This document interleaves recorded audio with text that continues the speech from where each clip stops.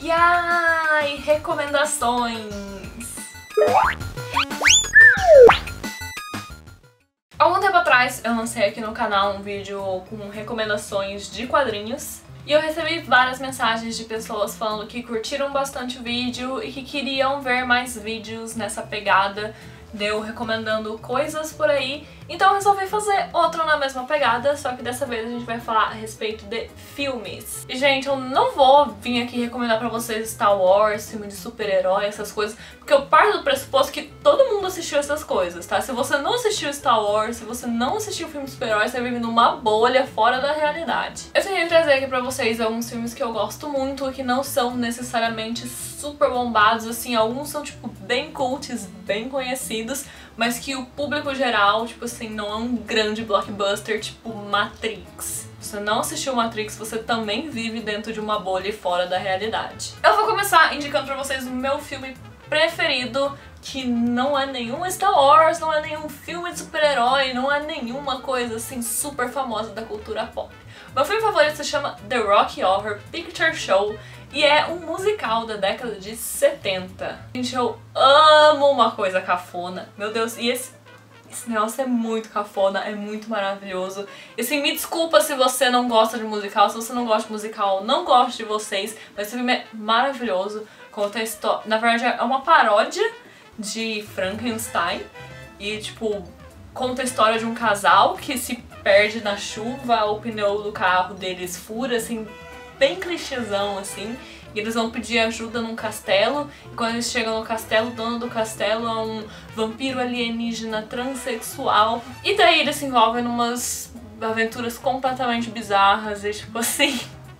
Se você sair desse filme, tipo assim, com a impressão que porra eu acabei de assistir, você assistiu esse filme certo. Sério, é maravilhoso, é meu filme preferido da vida, assistam. E se vocês não gostarem, foda-se, continua sendo maravilhoso e o filme preferido da minha vida. Ainda assim, indo nessa temática de coisas cafonas e de qualidade questionável, indicar pra vocês um filme de super-herói, olha só.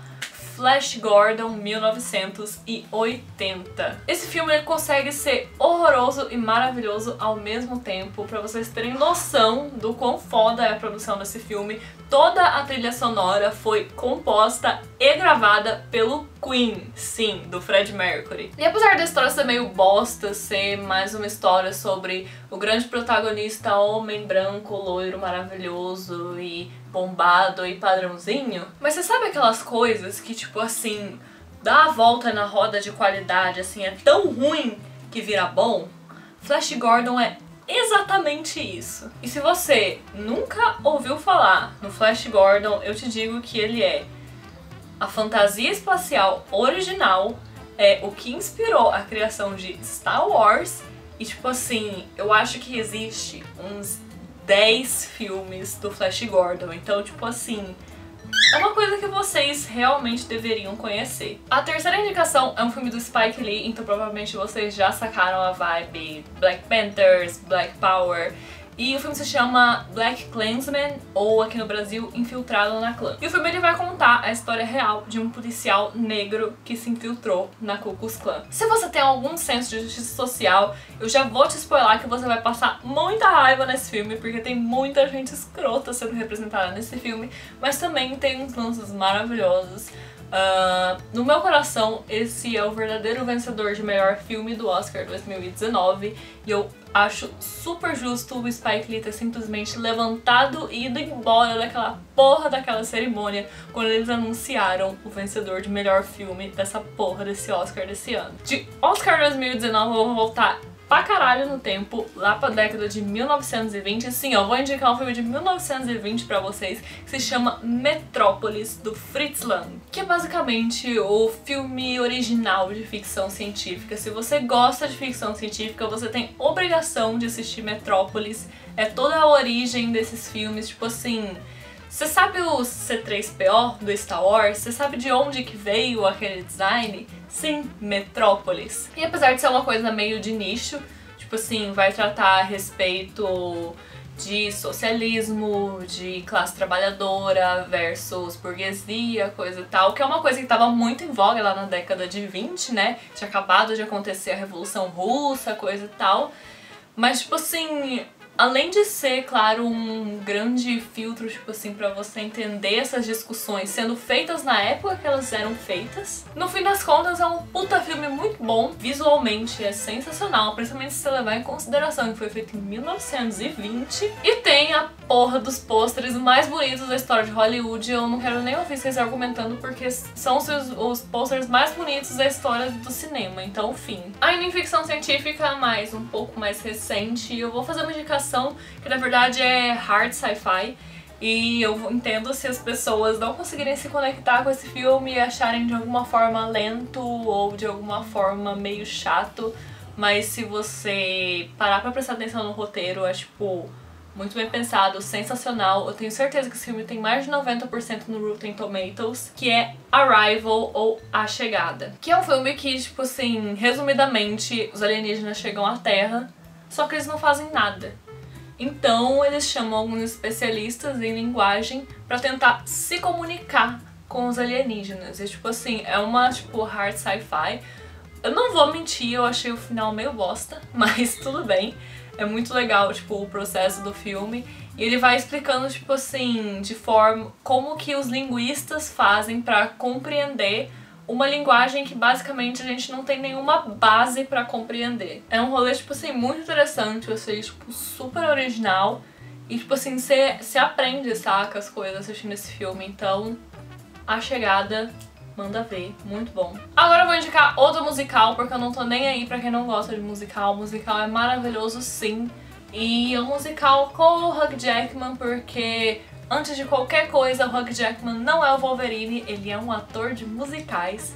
E o filme é The Greatest Showman. Não faço ideia de como que é o nome desse filme em português, eu juro pra vocês. Mas é basicamente uma biografia bem musicalzão mesmo, do cara que meio que inventou o circo nos Estados Unidos lá na década de 20 e 30. E o mais maravilhoso dele é o fato de realmente de ser um musical, vocês me desculpem. Tipo assim, a história é legal, mas tipo assim, os números musicais são simplesmente maravilhosos, então assim, assistam, pode assistir só pelos números musicais que já vale super a pena. A história também é legalzinha, by the way, mas os números musicais, gente, Mandei sci-fi, mandei coisa feliz, mandei coisa muito louca. Agora eu vou mandar umas coisinhas mais tristes. Uh, minha próxima recomendação é um filme que chama Capitão Fantástico. Eu sei que soa bem super-herói, mas não é super-herói. É a história de um cara meio esquisito que ele basicamente cria os filhos dele pra tudo menos pro mundo real. E daí o plot do filme é que a esposa dele morre, isso não é um spoiler, é literalmente tipo a motivação do filme,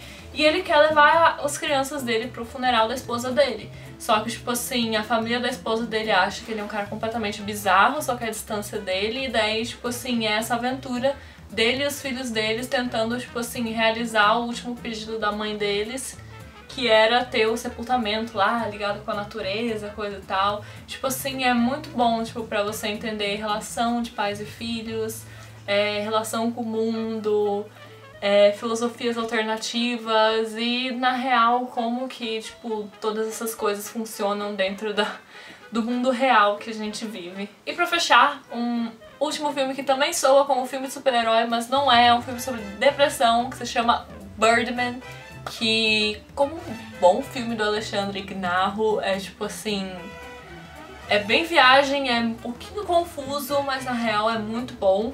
E você com certeza vai passar raiva com o final. Vai contar a história de um ator que ficou muito famoso interpretando um super-herói, por isso chama Birdman. Só que na real a carreira dele, tipo, estaciona e daí ele quer lançar uma carreira no teatro, fazer alguma coisa, ser independente, só que ele é, tipo, eternamente perseguido como o Birdman, ele não pode fazer mais nada, e, tipo, assim, vai contando, tipo, a história de como ele vira um total depressivo por causa disso, e, tipo, assim, você vai se desesperando junto com o filme, é, é é, é muito bom, gente. É triste, mas é muito bom. Assistam. E hoje é isso. Eu espero que vocês assistam os filmes. Uh, se vocês não gostarem, podem colocar a culpa nos meus gostos estranhos em coisas cafonas, em musicais.